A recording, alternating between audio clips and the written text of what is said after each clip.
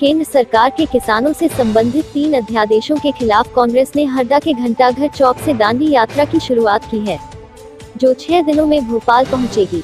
किसानों के मुद्दों को लेकर कांग्रेस ने सीएम शिवराज सिंह चौहान और कृषि मंत्री कमल पटेल को घेरने के लिए हरदा के घंटाघर चौक से दांडी यात्रा की शुरुआत की है चौक में राष्ट्रपिता महात्मा गांधी की प्रतिमा को माल्यार्पण करने के बाद पैदल मार्च शुरू हुआ यह दांडी यात्रा छह दिनों में भोपाल पहुंचकर राज्यपाल को ज्ञापन देकर खत्म होगी।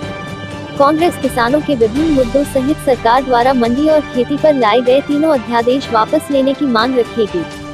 यह है मांग, कृषि और किसानों के लिए लाए गए किसान विरोधी अध्यादेश वापस लिए जाएँ।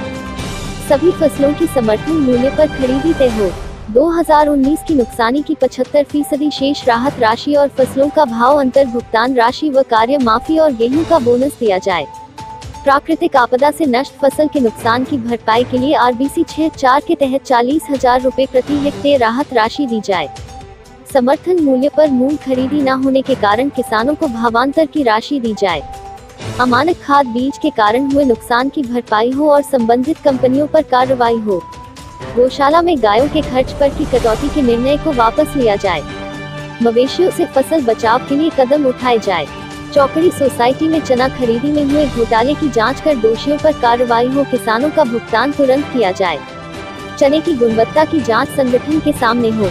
इस साल जिन किसानों का प्रीमियम सभी बैंकों ने काटा है, उनके खातों में पूरी राशि बिना एरिया फैक्टर के दी जाए। वर्षा के कारण मूंग फ़सल की नुकसानी सोयाबीन फ़सल की बोवनी नहीं होने से नुकसान व बोवनी के बाद खराब हुई फ़सल की भरपाई आरबीसी छह चार के तहत की जाए। जिला सहकारी केंद्रीय बैंक के द्वारा सहकारी समिति के माध्यम से किसानों को नकद दिया जाए।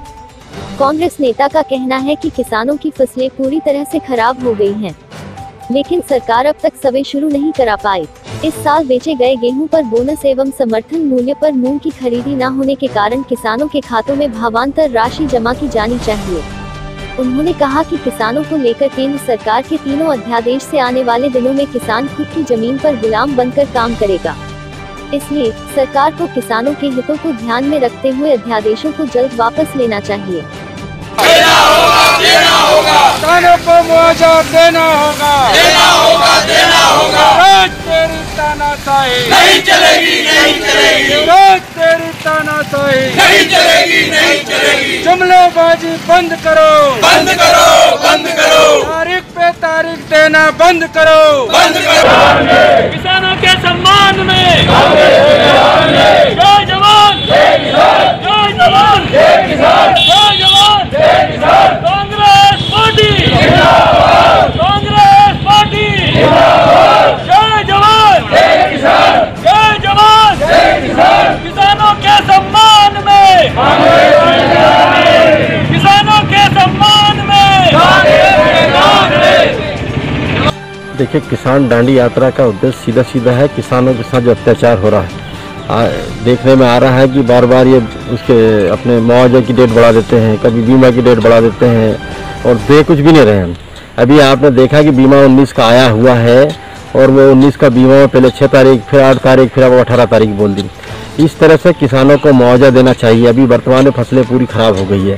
बाढ़ से लोगों की फ़सलें खराब हुई है तो मुआवजा देना चाहिए। और और किसानों की समस्या बहुत सारी चल रही है।